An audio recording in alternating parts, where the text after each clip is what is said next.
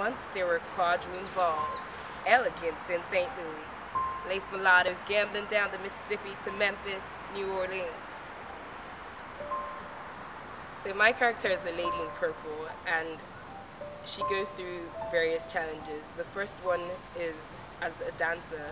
Sechita, and in a way she's she's partly Sechita herself, but then she's also telling the story of Sechita. And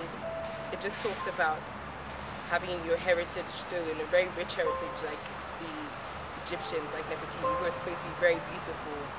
but being taken away from your home and brought somewhere else where people take all the things that are unique about you and sometimes they it might make it seem like you know it's a beautiful thing, but sometimes the same things that used to praise you are the same things that used to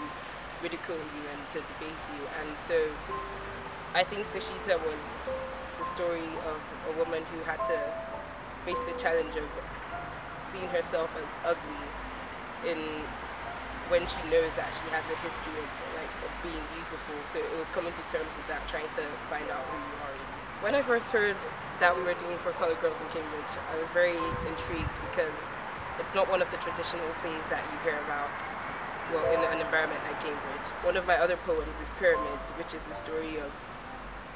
friendship and trust and loyalty being broken, both in a relationship with, in a romantic relationship and in relationships with your friends. And it shows, it's a, it's a very basic problem that people face almost every day. And while some of the other poems, the poem really touched me because while some of the other poems deal with big issues like rape and abortion that some people may not have gone through and may feel like they cannot relate to, it talks about how at the end of the day, love and friendship can overcome some of the toughest situations you face and how to get back to that place of trust after betrayal has happened. The play challenges everyone who watches it and it also challenges the cast. It deals with so many issues that all women face and to a certain extent it also, in fact to a large extent it affects men as well because it really forces you to look at yourself and question yourself, question your values, question the way you act and I think it gives you some sort of perspective on what everyone else is going through, struggles that sometimes you may think you're alone facing. So for me, it was a very challenging day, but then it was also very